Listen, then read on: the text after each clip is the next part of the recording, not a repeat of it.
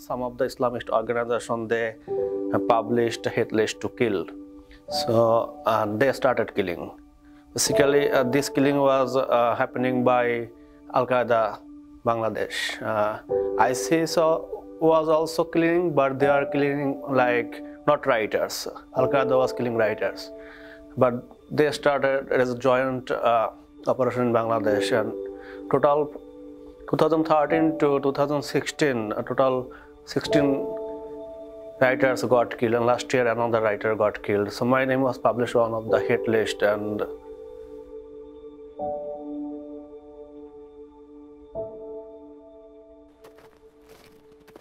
One of the things that I really love about working at City of Asylum is that I spend time every day with immigrants.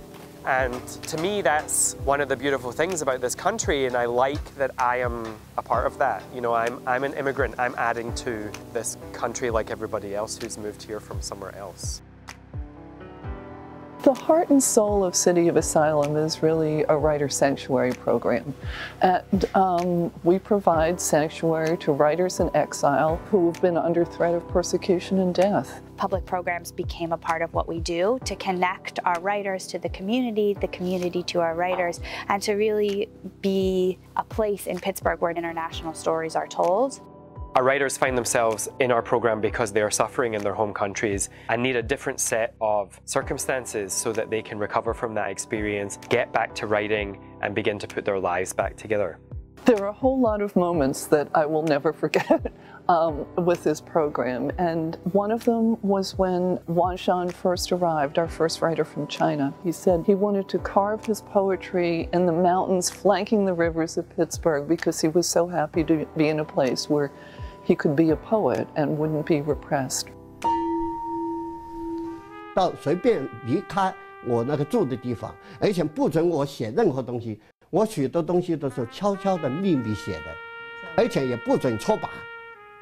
他们还下了一个文件，不准发表黄翔作品，扩大他的影响。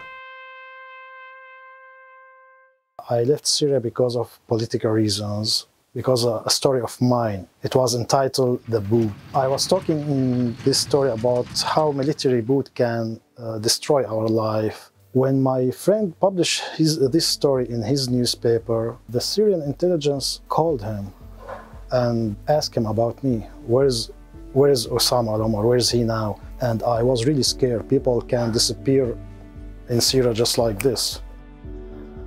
Uh, I was I was lucky.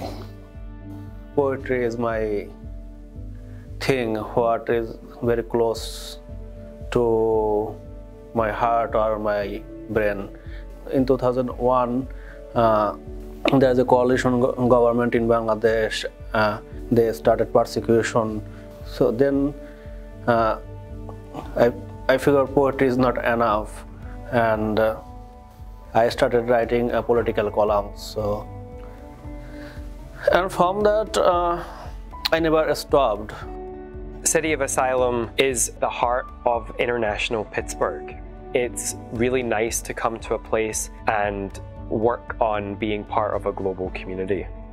I'm so happy here. And uh, actually, my life at City of Asylum was tipping point.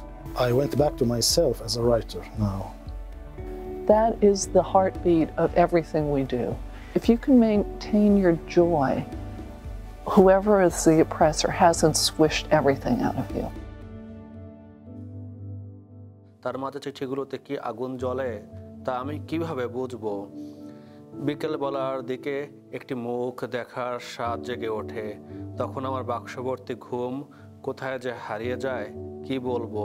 রাস্তায় কেবলই পড়ে থাকে শত শত ডুমুরের ফুল।